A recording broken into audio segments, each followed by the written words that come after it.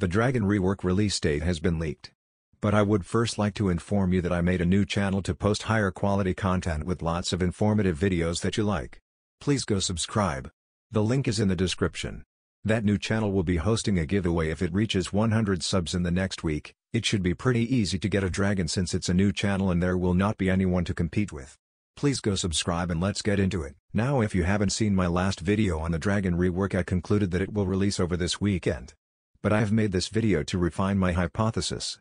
The rework will only release this weekend if we get a legit confirmation from the Blox Fruit devs.